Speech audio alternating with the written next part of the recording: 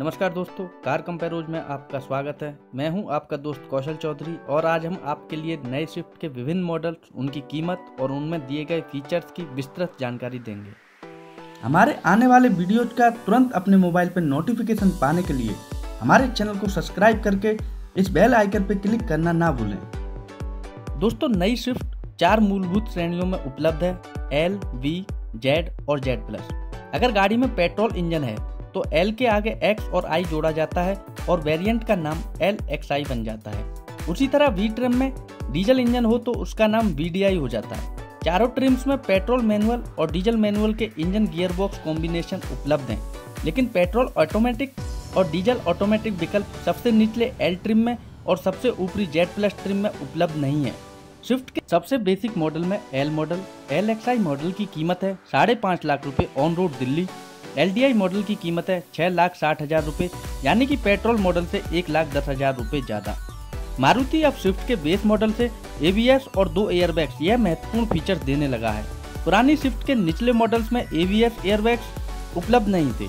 AC और power steering जैसे मूलभूत फीचर भी एल एक्स में उपलब्ध हैं, लेकिन अभी भी front power windows, central locking और पार्सल सीप जैसे सीधे सीधे फीचर्स उसमें उपलब्ध नहीं है।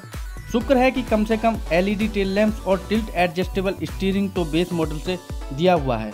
एक और अच्छी बात यह है कि मारुति में चाइल्ड सीट लगाने में काम आने वाले आइसोफिक्स पॉइंट भी बेस मॉडल में दिए हुए हैं। स्विफ्ट के, मिड वेरिएंट, वी और वी उनमें मैनुअल और ऑटोमेटिक दोनों गियर बॉक्स के विकल्प उपलब्ध हैं। वी पेट्रोल मैनुअल की कीमत है छह लाख चालीस हज़ार रूपए ऑन रोड दिल्ली, जो एल से अस्सी हज़ार रूपए महँगी है। वीडीआई डीजल मैनुअल की कीमत है सात लाख अस्सी हज़ार रूपए यानी कि LDI से एक लाख बीस हज़ार रूपए ज़्यादा।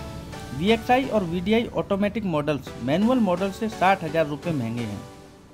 वी एक्स में चारों पावर विंडोज़ और रिमोट वाला सेंट्रल लॉकिंग दिया हुआ है। उसमें एक साधारण बिना टच स्क्रीन वाली म्यूज़िक सिस्टम भी मौजूद है जिसमें ब्लूटूथ यूएसबी, एफएम, ऑक्स और चार स्पीकर दिए हुए हैं।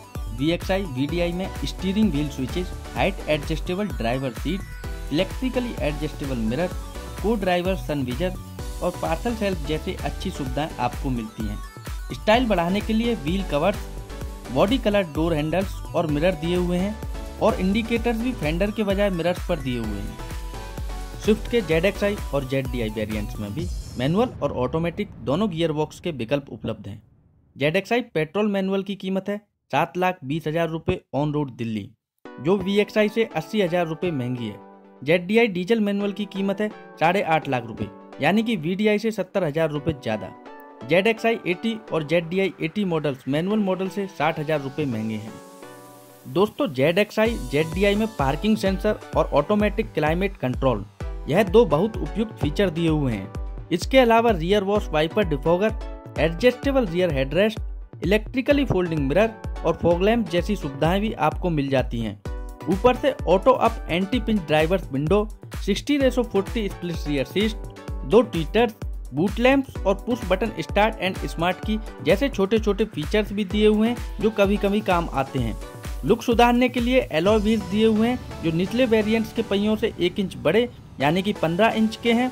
उन पर लगे टायर भी निचले वेरिएंट से 20 एम mm चौड़े हैं और एक छोटी लेकिन महत्वपूर्ण चीज़ है Z X I Z D I का लेदर रैप्ड स्टीयरिंग व्हील जो पकड़ में निचले वेरिएंट के प्लास्टिक स्टीयरिंग से काफ़ी बेहतर लगता है। दोस्तों स्विफ्ट के सबसे ऊपरी वेरिएंट्स हैं जेड एक्स आई प्लस और जेड डी आई प्लस यह सिर्फ़ मैनुअल गियरबॉक्स के साथ उपलब्ध है। उनमें फ़िलहाल कोई ऑटोमेटिक विकल्प उपलब्ध नहीं है। इसका मतलब अगर आपको या तो पूरे फीचर्स वाली या फिर ऑटोमेटिक गियरबॉक्स वाली, लेकिन कुछ फीचर्स कम होने वाली स्विफ्ट ही मिल सकती है।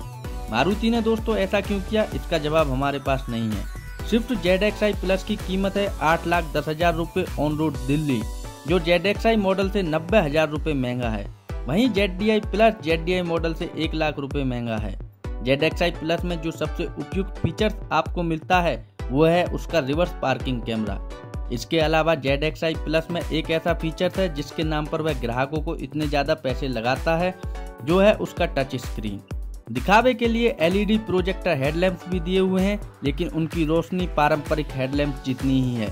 इसके अलावा एलईडी डीआरएल और डायमंड कट डिज़ाइन वाले एलॉय व्हील्स गाड़ी की शोभा बढ़ाते हैं। स्विफ्ट के टॉप एंड मॉडल का एक अच्छा फीचर यह है कि उसमें एंड्रॉयड ऑटो और एप्पल कारप्ले सॉफ्टवेयर मौजूद हैं, जो फ़ोन पेयरिंग का काम बहुत आसान बना देते हैं। इसके अलावा उसमें ऑन बोर्ड नेविगेशन भी दिया हुआ है, लेकिन गूगल मैप के सामने वह बिल्कुल ही बकवास है। एक और मज़ेदार फीचर जो टॉप एंड मॉडल्स में उपलब्ध है, वो है उसका colour TFT driver input information display जो गियर के संकेत और गाड़ी की अन्य जानकारियाँ देता है। तो दोस्तों, कुल मिलाकर हमारा सुझाव ऐसा है कि स्विफ्ट के सबसे निचले मॉडल्स और सबसे ऊपरी मॉडल्स किसी काम के नहीं हैं। सबसे निचले मॉडल्स में front power windows central locking और पार्सल सेल्फ जैसे मूलभूत सुविधाएँ उपलब्ध नहीं हैं। Top end model, Z X I और जेड डी आई मॉडल से एक लाख रुपए महँगे हैं, लेकिन फीचर्स के तौर पर कुछ खास देते नहीं हैं। तो बचते हैं वी और जेड मॉडल्स।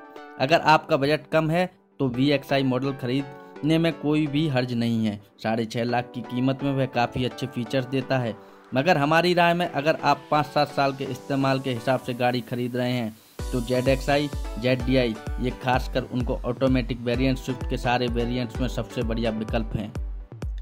तो दोस्तों, हमारे नए वीडियोज़ का नोटिफिकेशन पाने के लिए सब्सक्राइब करें। और अगर आपको ऐसे और वीडियो देखने में दिलचस्पी है तो लाइक करें और अपने अभिप्राय व्यक्त करने के लिए नीचे दिए गए कमेंट सेक्शन का उपयोग करें। धन्यवाद।